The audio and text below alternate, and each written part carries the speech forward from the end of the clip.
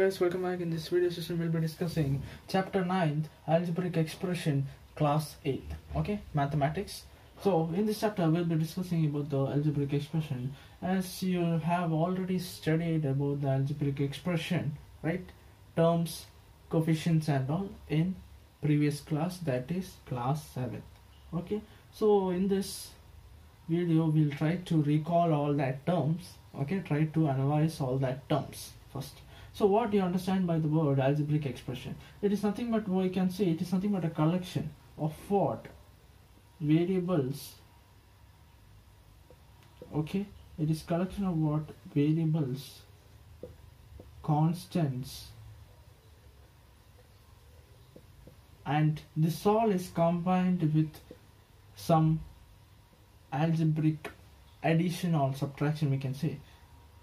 Addition subtraction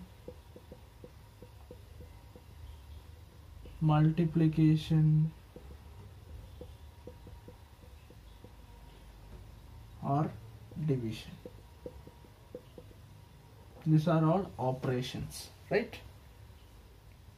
Now algebraic expression is nothing but what? Combination or the collection of variables and the constants and these two are combined together or we can say combined together with all this operation. Maybe addition will be there plus sign will be there minus sign will be there multiplication will be there or we can say division may be there.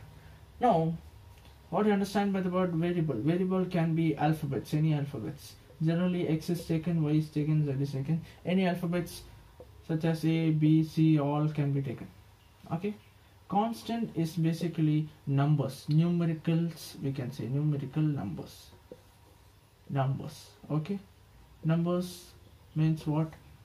Any numbers. From 0 to infinity any numbers. 0 10 10 20 10 26 like that. Natural numbers or whole numbers we can say. Okay? Even integers any sort of numbers we can take. Okay this is nothing but what? Algebraic expression.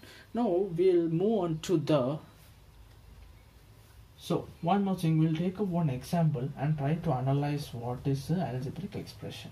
Suppose if we take 3x plus 4x or we can say plus 4 is enough so this is a algebraic expression. Why it is called as algebraic expression? Let us try to analyze.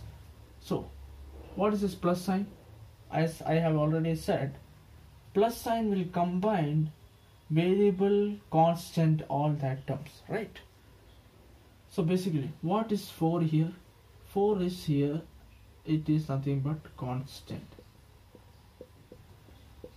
What is 3 here? It is not a constant. Try to analyze this. This is nothing but coefficient of x. Coefficient of x.